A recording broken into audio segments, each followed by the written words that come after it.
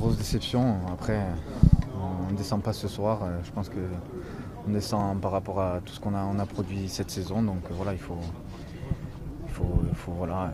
Maintenant, il va falloir relever la tête, euh, faire euh, une bonne analyse de, tout ce qui n'a pas été depuis, depuis quelques années pour, euh, pour, euh, pour, euh, euh, repartir de l'avant. Parce que voilà, c'est que ça fait partie de, l'histoire du club.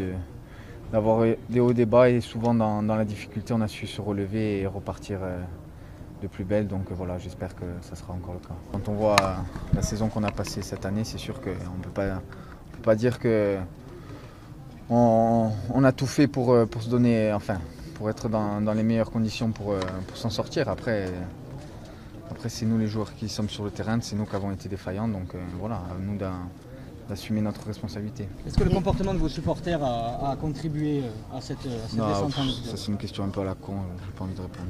Yannick, euh, le coach espère rejouer euh, le match euh, contre Lyon. Quel est votre sentiment